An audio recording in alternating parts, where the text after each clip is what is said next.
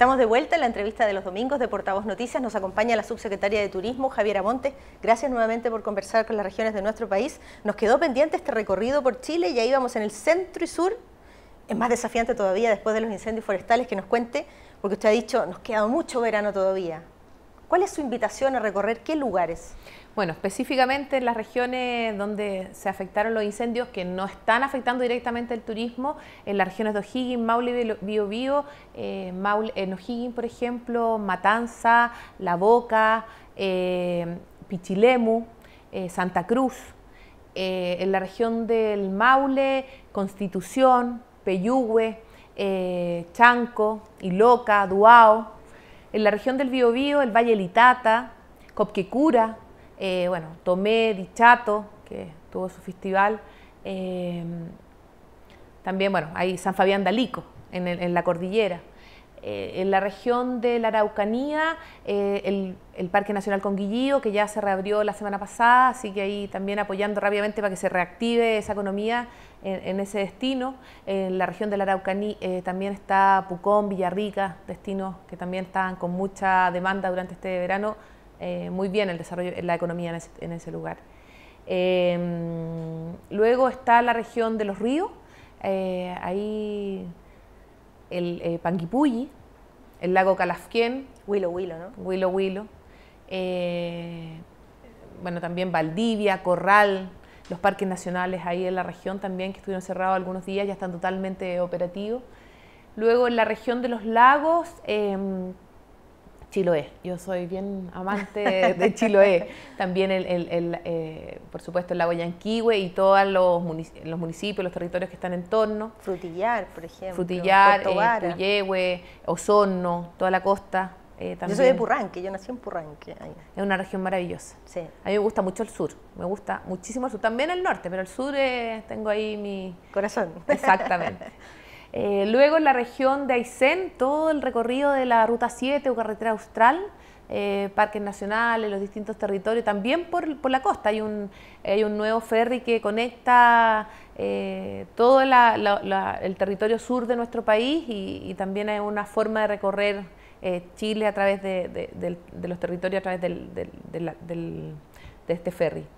Luego está la región de Magallanes, ya como última región, bueno, Punta Arenas, Natales, eh, pero también Williams. Ahí estamos trabajando harto en Williams eh, para poder generar ahí un nuevo eh, polo turístico. Está haciendo una inversión pública importante. La región de Magallanes, Aysén y Arica son regiones que tenemos programas asociados a territorios de zona y también la la provincia Palena en la región de los lagos, territorio de zonas extremas, donde está haciendo una inversión en infraestructura muy importante eh, que no se había realizado anteriormente, donde están inyectando una cantidad de recursos en infraestructura eh, relevante y toda esta infraestructura directa o indirectamente eh, permite habilitar territorios turísticamente. Bueno, estábamos hablando de Magallanes y no puedo dejar de preguntarle a propósito del Parque Nacional Torres del Paine, la última emergencia allí, un incendio forestal devastador que tardó meses en apagarse, prácticamente cuatro meses, eh, nos, dejó alguna lección respecto de cómo cuidarlos en términos de protección. ¿Tenemos el personal, los funcionarios suficientes como para resguardar la seguridad de nuestros parques nacionales? Y particularmente allí, ¿qué aprendimos de esa emergencia? Bueno, específicamente eh, eh, de, hoy día los parques nacionales fueron en todas las zonas donde habían incendios, inicialmente se fueron, se cerraron de manera preventiva. A ser claro, los parques hay algunas reservas y algunos santuarios que tuvieron algunos eh, quizás afectación, pero en temas de parques nacionales no tuvieron afectación, fueron cerrados de manera preventiva, se prohibió el fuego en estos territorios para protegerlo. Finalmente teníamos olas de calor, viento, y era una forma de proteger eh, y, de mitigar, o sea, de controlar un poco el acceso para poder controlar el fuego. Yo creo que nosotros acá tenemos un trabajo que ya iniciamos con la industria turística, la necesidad de estar constantemente haciendo las recomendaciones de cuáles son las buenas formas de hacer turismo en estos territorios, eh, cuáles son las precauciones que tenemos que tener en estos territorios para proteger el, mayor valor turístico que tiene nuestro país, que es la naturaleza prístina que está en, en este lugar. Es que tengo la sensación de que aquellas personas que generan o provocan los incendios les sale prácticamente gratis o muy barato generar este tipo de, desastres y catástrofes naturales. Bueno, hoy día se está, haciendo, se está haciendo, igual recordemos, principalmente acá los principales eh, territorios afectados son forestales. si hay algunos también espacios de bosque nativo, pero menores. Eh, lo que está haciendo acá hoy día es, están todas las investigaciones buscando eh, los distintos órganos pertinentes, buscando la responsabilidad en específico y cómo surgió cada uno los incendios. Y obviamente las, situaciones llegarán a su fin en las investigaciones para poder tomar las medidas eh, que correspondan. Pero hoy día yo creo que lo que tenemos que aprender todos los chilenos es que hay un cambio climático importante. El cambio climático significa que la nieve llega un poco más tarde, en algunos territorios incluso en Aysén el año pasado había muy poca nieve siendo y hacía nunca no llovió mucho hay otros territorios o sea esto está cambiando. un 80% de déficit de, lluvias en Aysén. Efectivamente entonces cómo generamos cómo nos adaptamos a esto cómo tomamos las medidas de precaución frente a esto y yo creo que esto ya llegó hay que considerarlo siempre eh, antes el tema de las marejadas en nuestro país no era un tema, hoy día es tema, las marejadas es recurrente, tenemos que estar preparados para eso, eh, ser preventivos en cómo circulamos, cómo nos movemos, cómo nos comunicamos en el minuto de, que estas ocurren. Y hay varios hechos que están haciendo que va cambiando la naturaleza, va cambiando cómo los eventos de la naturaleza se van desarrollando y tenemos que ser cada vez más, eh, estar todos más al tanto de esto. Yo creo que el país en términos de emergencia eh, ha crecido muchísimo. hoy día, por lo menos vinculado al turismo, hemos establecido una red de comunicación, de actuar, de los mensajes, cómo se transmiten. Eh, lo hemos conversado harto el cómo se dicen las cosas es clave, porque todavía hay mucha sensación de que cómo se dijeron las cosas de que los turistas se fueron porque estaban quemando los lugares turísticos. Entonces, por eso es como tanto los municipios, los alcaldes, como hacen los llamados, es clave para que no se afecte la actividad económica.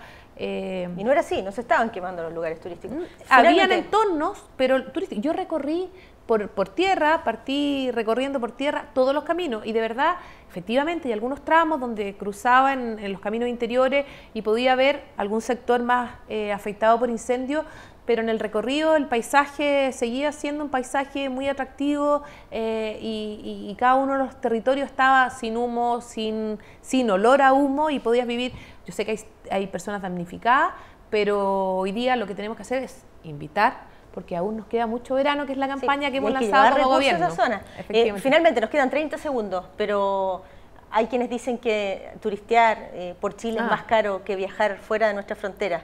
¿Es así o no? ¿Cuál sería su recomendación? Mi recomendación es que hay que informarse, que hay que buscar, que hay que revisar, o sea, los que aquellos que nosotros podemos ver en los que tienen más espacios de publicidad probablemente pueden ser un poco más costosos, pero hay oportunidades, incluso acá si me preguntan si hay destinos caros, destinos baratos, en todos los destinos del país yo puedo encontrar muy buenos precios. En la Isla Pascua puedo encontrar muy buenos precios, en San Pedro, Torres del Paine, en Chiloé, hay para todos y con muy buena calidad. Lo importante es informarse, eh, reservar antes, los chilenos no somos tan buenos para eso, coordinar antes las vacaciones, mientras antes las coordino, tanto en los pasajes como en, en los alojamientos, en las actividades que realizo, voy a poder obtener mejores precios. Diez segundos. ¿Es verdad que ahora los chilenos no solo turistean en febrero, sino que se guardan algunos días en el año, vacaciones de invierno y eso? ¿Ha cambiado la forma de No solo los chilenos, en el mundo entero ha cambiado. Antes la gente se tomaba la totalidad de vacaciones en un periodo. Hoy día existe, existe menos, eh, la, permanencia eh, continua es menor en, de todos los países, pero eh, hay más periodos de vacaciones durante el año, eh, para los fines de semana largo, una escapada, sumarle un día, las vacaciones de invierno, eh, para el 18, los fines de semana largos, el fin de semana largo, la Semana Santa es un fin de semana muy movido turísticamente y esperamos que este año ya que tenemos tanto fin de semana largo, nos permita invitar a todas estas regiones que, que fueron afectadas y de esa forma recuperar la economía local, que es el mensaje que queremos dejar.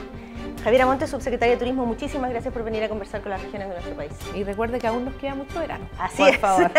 Un abrazo, muchas gracias. Muy bien. Y a ustedes también, muchísimas gracias por acompañarnos. Hasta pronto.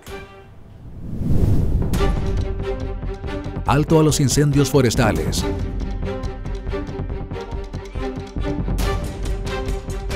Y Arcatel, Asociación Regional de Canales de Televisión de Señal Abierta de Chile, presentaron Portavoz Noticias.